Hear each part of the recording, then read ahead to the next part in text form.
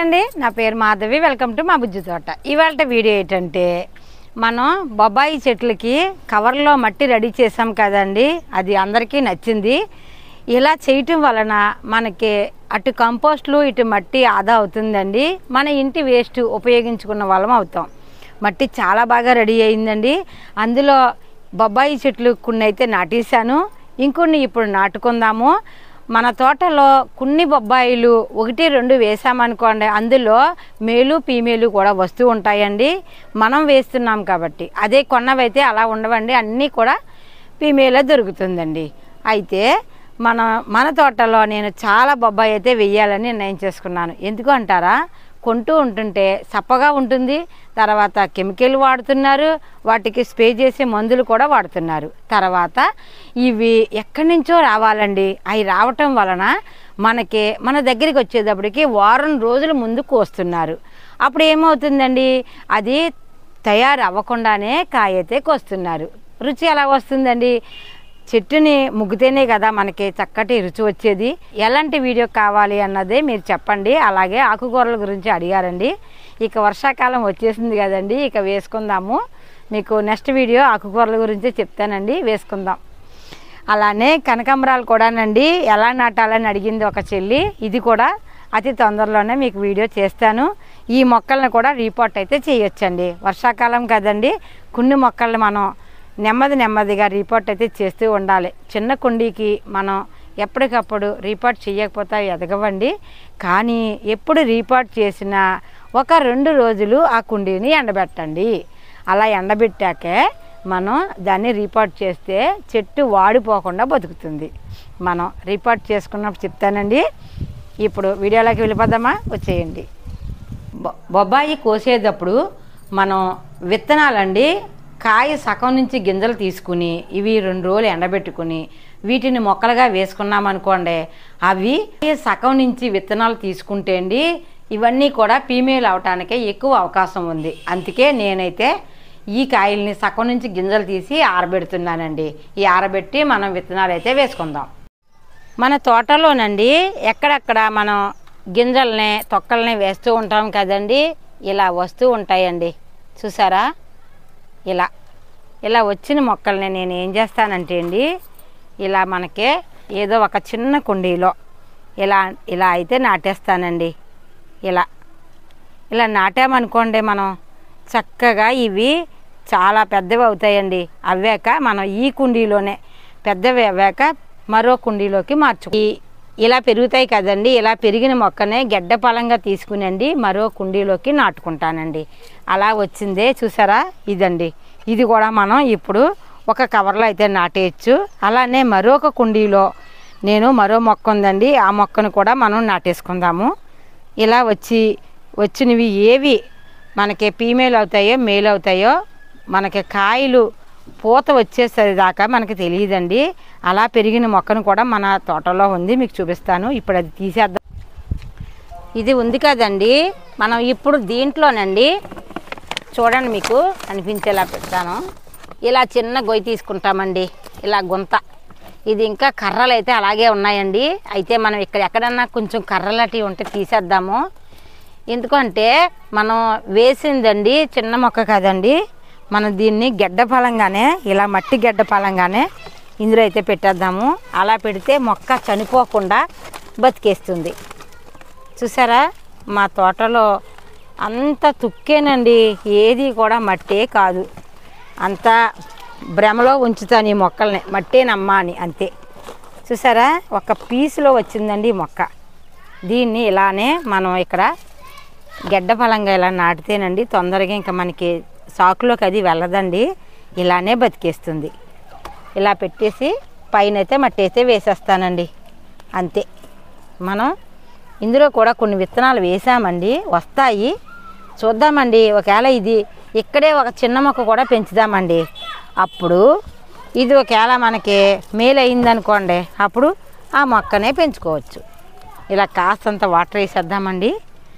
చూసారా? ఇది కూడా స్తంభం దగ్గరే ఉంది.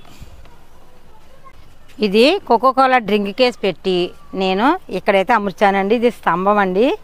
ఈ స్తంభానికి మనకి చెట్టు పెరిగాక కొంచెం ఇలా మనం కట్టడానికి ఉంటుంది అన్న ఉద్దేశంతో ఇలా అమర్చుకున్నాను. ఈ మట్టి అయితేనండి చాలా బాగా రెడీ అయ్యిందండి. చూసారా?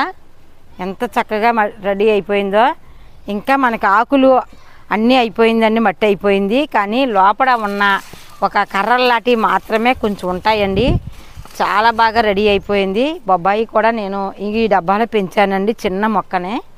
ఇది చక్కగా మనకి ఇలా ఎండనే నాటేసిందండి. గెడ్డ పలంగా పెట్టేశాను మట్టి వేసేసానండి. అంతే. మీకు చిన్న మొక్కలను కూడా చూపిస్తాను. ఇది కూడా చూడండి ఎంత అందంగా వస్తుందో చాలా బలంగా కూడా వస్తుంది. మనం ప్రస్తుతానికి అయితే ఇది కొంచెం నీడను ఉందండి. మనం ఒక పది రోజులు పోయాక దీనికి ఎండ తగిలేటట్టు ఏర్పాటు అయితే చేసుకుందాం. ఎంత చక్కగా ఈ మొక్క నేను చిన్న మొక్క అండి. ఇందులోనే వచ్చింది. ఆ మొక్క ఇవాళ ఈ కుండీలో ఇంత మొక్క అయితే అయిపోయింది. ఇలా ఇది కూడా ఒక స్తంభం దగ్గరే ఉందండి. ఇలా మీకు చూపిస్తాను ఉండండి. ఇదిగోనండి ఇక్కడ ఒక స్తంభం. ఇది కృష్ణయ్య వెనకాల చోటు అండి ఇది. అటు ఒక స్తంభం ఫ్రిడ్జ్ పక్కనే. అక్కడ ఒక కవర్ పెట్టానండి. ఇక్కడ ఒక కవర్ ఉంది.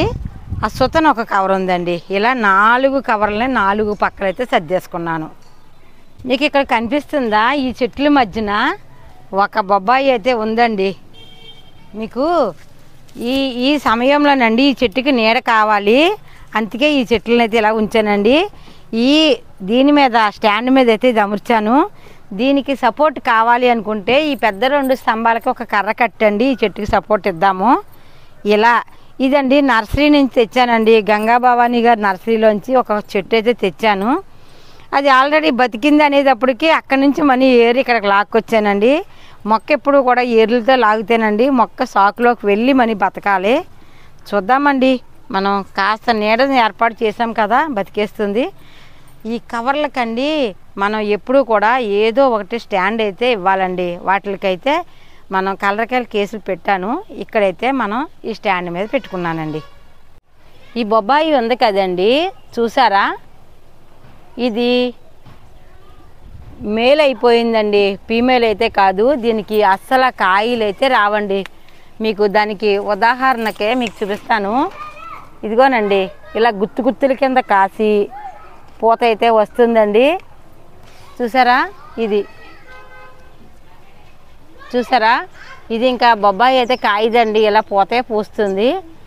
ఇది మనకు అవసరం లేదు ఈ చెట్టుని అయితే తీసేయాలి. మనం ఫ్రిడ్జ్లో వేసాం కదండి ఈ చట్నీ అయితే తీసేస్తానండి. ముక్క ముక్కల కింద చేసి మనం కంపోస్ట్లో వేసేద్దాం. ఇది ఇంకా మనకి తెల్లలేదండి. తెలిసాక దీది కాయలు కాసేది అయితే ఉంచుతానండి. కాయలు కాయింది అయితే మాత్రం తీసేస్తానండి. మన టెర్రస్ గార్డెన్లో అవి ఉంచాలి ఇవి ఉంచాలి అంటే మాత్రం కుదరదండి. మనకి ఏది అవసరమో అదే పెంచుకోవాలి ఏది కాపు వస్తుందో అదే ఉంచాలి. అంతేకానండి పాపము అయ్యో అనుకున్నామంటే మాత్రం మనకు ఉన్నది కాస్త చోటండి. ఈ చోట్లో మనకి మొక్కలకి వేయటానికి వేసి అన్నీ బతికించేంత అవకాశం మనకు లేదండి. అందుకే మరి తప్పదండి. దీని చోట్లో మరో మొక్క అయితే వేస్తాను. దీని అయితే తీసేస్తాను. చాలామంది దీనికి ఏదో మేకు గుచ్చితే ఆడదవుతుంది అంటున్నారండి. అది ఎంతవరకు నమ్మకం అయితే నాకు లేదండి. ఎందుకంటే ఎన్నో సంవత్సరాల నుంచి నేను ఈ చెట్లను చూస్తున్నాను. గత దగ్గర దగ్గర నాకు ముప్పై ఎనిమిది సంవత్సరాల నుంచి బొబ్బాయి పెంచుతున్నానండి. ఎప్పుడు నాకు అలా జరగలేదు. అందుకే నేను అది నమ్మట్లేదండి. నిజమే అని మీకు ఎవరికైనా తెలిస్తే నాకు కామెంట్ పెట్టండి. అప్పుడు నేను చెప్తాను. ఇందులో ఇంక పెట్టనండి. మనకి కవర్లు ఉన్నాయి కదండి. కవర్లో నాలుగు మొక్కలు పడ్డాయి. నాలుగు సరిపోతుంది మనకే. తర్వాత ఇది ఒకటి ఇది చూద్దామండి. చూసి దీన్ని నేను బాగుంది అనుకోండి ఇది పిందులు వచ్చాయి అనుకోండి దీనికి ఏదో ఏర్పాటు చేస్తాను. లేదంటే అది కూడా తీసేస్తానండి.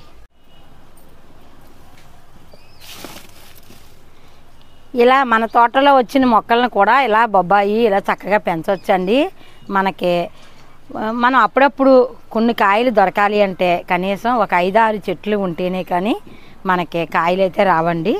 ఆ ఐదారులోని ఏవి ఫీమేల్ అవుతాయో మేల్ అవుతాయో తెలియదు కదా. అందుకే నేను ఒక ఐదారు మొక్కల్ని టెర్రస్ మీద పెంచాలని నిర్ణయించుకున్నాను. ఇలా చేస్తే మనకి ఇవి ఆ చెట్లు మేలైనవి అనుకోండి వాటిని మనం తీసేసి ఆ చోట్లో మరో మొక్క వేసుకుందాం. ఇది చూసారా? మన తోటలో చిన్న మొక్క అండి. మనం ఈ చిన్న కవర్లో వేస్తున్నాము.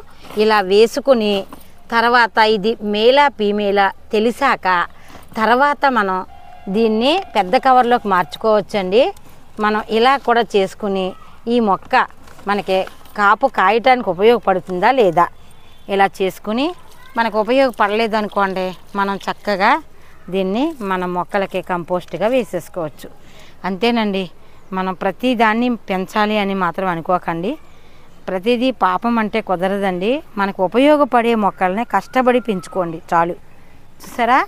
ఈ చిన్న కవర్లోనే ఇది కాయటానికి ఉపయోగపడుతుందా లేదో తెలిసిపోతుంది. అప్పుడు మనం పెద్ద కవర్లోకి ఈ కవర్ పలంగా మట్టిని తిరగేసుకునండి పెద్ద కవర్లోకి వేసుకోవచ్చు. నేనైతే దీన్ని ఇలా పెంచుతున్నానండి. ఇప్పుడు ప్రత్యేకంగా మూడు మొక్కలను అయితే వేశాను అంతకుముందు రెండు వేశాను. ఐదు మొక్కలు వేసామండి ఇప్పుడు బొబ్బాయి మన పెరట్లో మూడు ఉన్నాయండి. మొత్తానికి మన తోటలో మరొకటి ఉంది. మొత్తం పది మొక్కలండి. ఇదైతే డౌట్ లేదండి. ఇది కాయలు కాస్తుంది. ఎందుకంటే కాయలు కాసే చెట్టునే మనం అంటుగా తయారు చేసి ఈ కుండీలో అయితే వేసామండి. ఇప్పుడు పూత అయితే స్టార్ట్ అయ్యింది. మన తోటలో అతి తొందరగా కాసేది ఇదేనండి. పెరట్లో కాస్తుంది ఆల్రెడీ ఇది తొందరగా మనకి కాస్తానికి రెడీగా ఉన్నది ఇదే. అదిగోనండి మన పెరట్లో ఈ బొబ్బాయి ఎలా పెరిగిందో చూసారా? చక్కగా కాయలు కూడా కాస్తుంది. ఆ పక్కనే చిన్న చెట్లు కూడా ఉన్నవి. అలా మనకి అక్కడ మూడు చెట్లు అయితే ఉన్నాయి.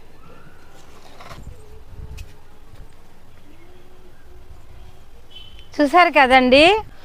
ఇలా మనకి కావలసిన వస్తువుల్ని ఇలా మనం పండించుకుందామండి.